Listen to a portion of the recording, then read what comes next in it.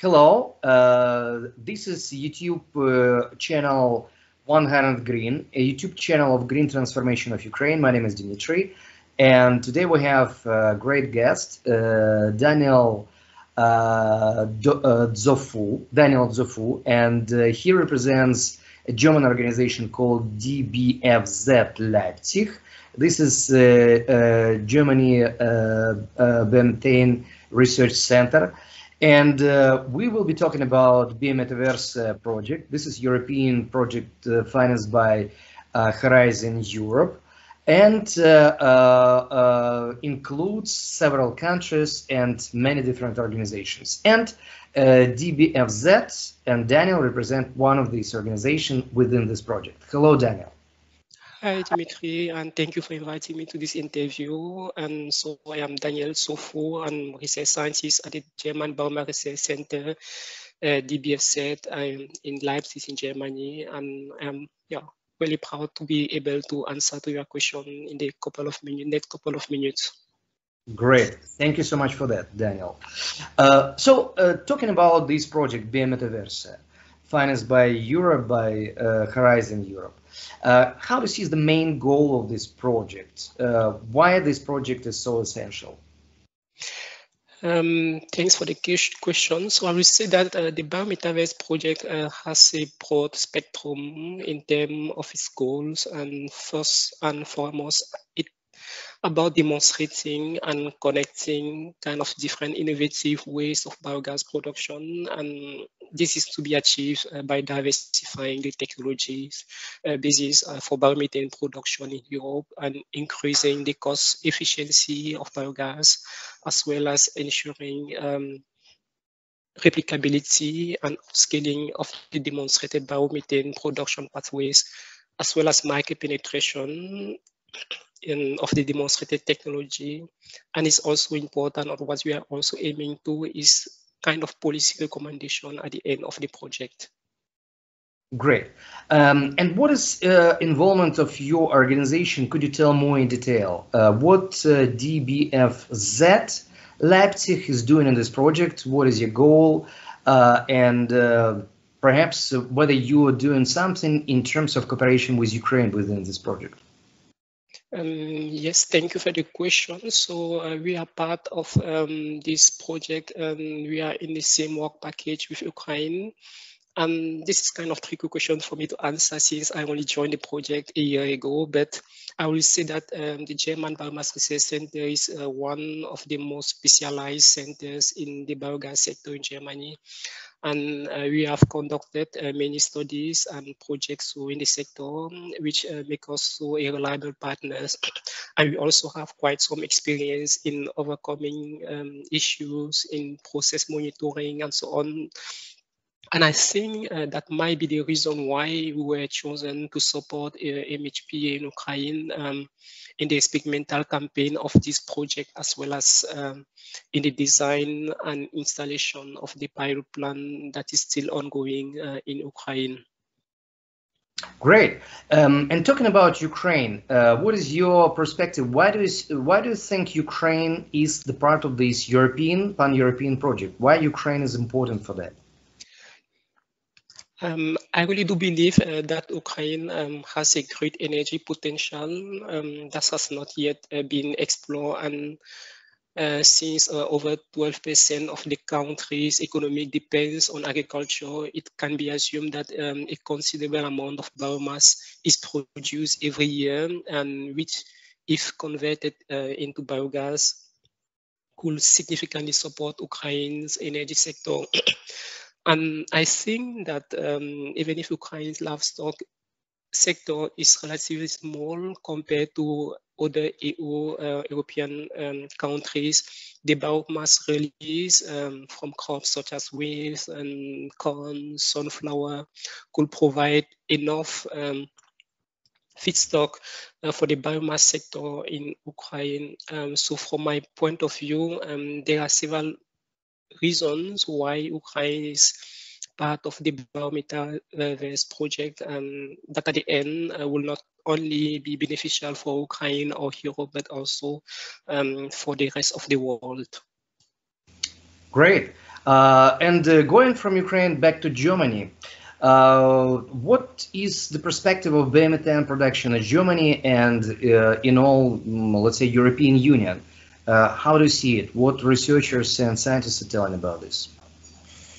Um, related to biogas production uh, in Germany. I would say today Germany is uh, the European country with the highest energy production from biomass and based on the forecast uh, for 2030, um, it's estimated that Germany will produce around 8 billion cubic meters of biogas per year, which alone will account for around 23% of the projected biogas um, um, production in the EU uh, by, that, uh, by that time and estimated at around 35 billion cubic meters to reach a net zero emission by 2050, a production of at least uh, 151 billion cubic meter will be needed in European um, Union um, to compensate this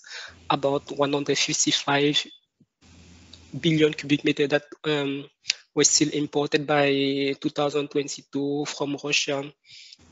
So therefore, I believe that uh, we still have a long way to go, but we are definitely well on the way to achieving this goal in Germany and other countries. Great, uh, wonderful perspective. Uh, and uh, uh getting there, of course, uh, as far as I understand, the BIOMETHAVERSE project is uh, aimed to make sure that actually this perspective will be achieved in some near future. So coming back to this BIOMETHAVERSE project, uh, this is the project, as far as I understand, for about five years, and you're already somewhere in the equator of this project. So it's in the middle of the project.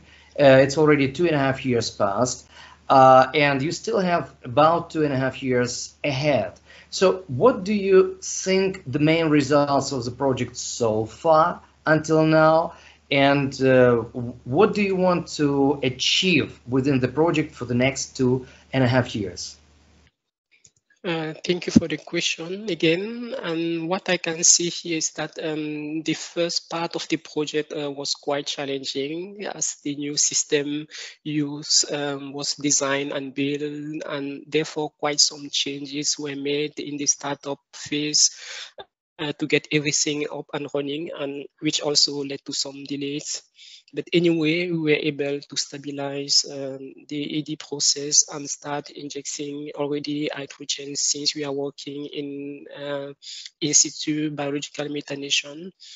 Um, so we have started this process already a couple of months ago, and the data we have um, so far look quite uh, good, I will say. We are already observing increase in biomethane in the biogas and our goal at the end is to achieve at least or to upgrade the biogas, the biomethane in the biogas up to 85% uh, using a gas recirculating system, which might sound kind of quite ambitious. But I also hope uh, that um, we'll get quite some interesting results based on the data we are recording so far that are at the end publishing for the scientific community. Uh, well, uh, ambitious, but I think that's something about uh, your organization, about your partners within the project of BIOMETHAVERSE. And I think uh, Europe has quite ambitious plan, uh, which is good for Europe, for the future ecology, and for future economic perspectives as well. And uh, you know, all European consumers, including German and Ukrainian.